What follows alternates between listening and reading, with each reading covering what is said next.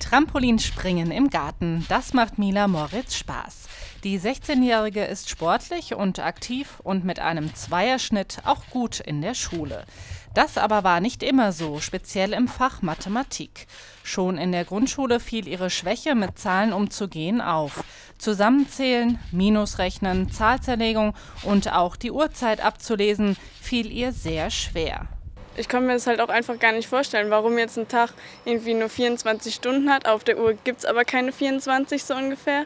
Oder dann auch mit ähm, der 6, 6 Uhr morgens, 6 Uhr abends. Manche sagen 18 Uhr, da war ich auch wieder total verwirrt, weil auf der Uhr steht auch keine 18 und dann wusste ich auch nicht mehr weiter sozusagen.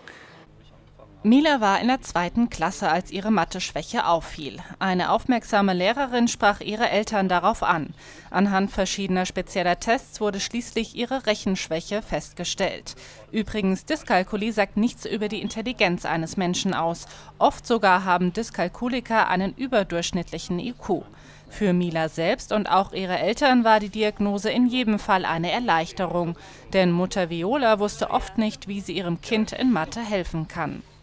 Spannungen gab es insofern, dass ich anfing, mit ihr halt zu lernen und das eigentlich jeden Tag.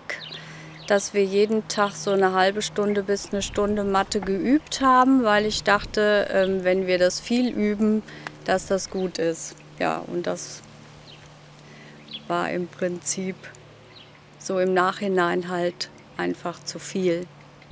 Seit die Dyskalkulie festgestellt wurde, geht Mila einmal pro Woche nach Altenstadt in die Praxis für Psychomotorik und Lernförderung. Die Lerntherapeuten dort beschäftigen sich seit Jahren mit Dyskalkulie. Und die ist gar nicht so selten. Circa 6 Prozent der Grundschulkinder haben eine Rechenschwäche.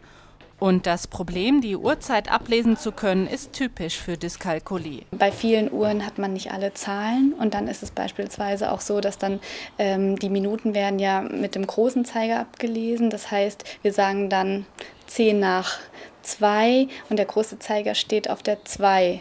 Ne? Und wir sagen aber 10 nach und das ist eben für Dyskalkulie-Kinder unheimlich verwirrend. Und da muss man in ganz kleinen Schritten das einfach denen beibringen. Mit kleinen Schritten bzw. kleinen Würfeln hat Mila gelernt, mit Zahlen umzugehen. Mit den Einern Würfeln hier habe ich dann sozusagen angefangen. Da habe ich dann erstmal Plus und vor allem auch Minus gerechnet, dann halt ganz einfach im Zehnerbereich. Und ähm, dann bin ich über in den großen, sage ich jetzt im Zehnerbereich. Dann gibt es hier diese Stangen, wo halt zehn von den kleinen Klötzchen sind.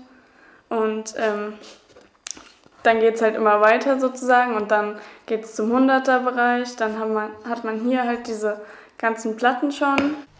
Die Würfelchen haben Mila beim Rechnen geholfen, weil sie etwas Gegenständliches sind und nicht abstrakt wie Zahlen. Deshalb werden in der Praxis für Psychomotorik und Lernförderung in Altenstadt zum Beispiel auch leere Wasserflaschen umgekegelt. Das soll die Zahlzerlegung trainieren konkret sehen, aus welchen Teilen die Zahl 9 besteht, beispielsweise aus der 2 und der 7. Und dann irgendwann geht es darum, dass man dann das auf dem Blatt sieht, dass man nur noch die Kegel sieht, dass man dann die Zahlen dazu aufschreibt. Und irgendwann sieht, sehen die Kinder die Kegel gar nicht mehr und dann stehen nur noch die Zahlen da und dann äh, sollen sie eben die Zahlen ergänzen. Spielerisch lernt es sich besser und auch wenn noch Bewegung hinzukommt, wie hier an der Kletterwand. Erst wird hochgeklettert, dann nehmen sich die Kinder ein Aufgabenkärtchen und unten angekommen rechnen sie das Ergebnis aus. Bewegung ist generell gut in Verbindung mit Lernen, weil das Gehirn wird mit Sauerstoff versorgt in dem Moment, wo man sich bewegt und man kann sich die Sachen einfach viel besser merken, wenn man sich bewegt während des Lernens. Das ist generell ein Lerntipp. Sich bewegen, während man lernt, ist ähm, sehr viel effektiver. Für Mila ist die Therapie in der Lernförderung inzwischen abgeschlossen, aber sie geht noch freiwillig einmal pro Woche hin. Lerntherapeutin Jasmine Vanya unterstützt sie bei den Hausaufgaben oder auch bei der Klausurvorbereitung.